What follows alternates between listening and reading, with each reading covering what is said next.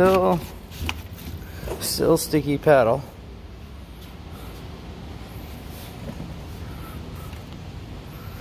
Come up here.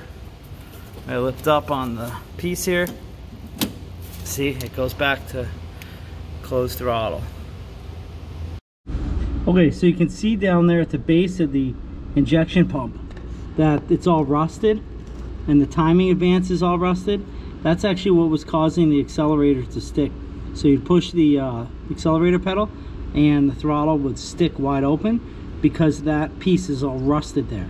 So I had disconnected it so I could drive it and stuff, but I but I need to fix the timing advance. I can't keep it like this. All right, so the area that I have circled here is the timing advance and this was sticking intermittently um, and this was causing the accelerator to stick wide open when you pressed it.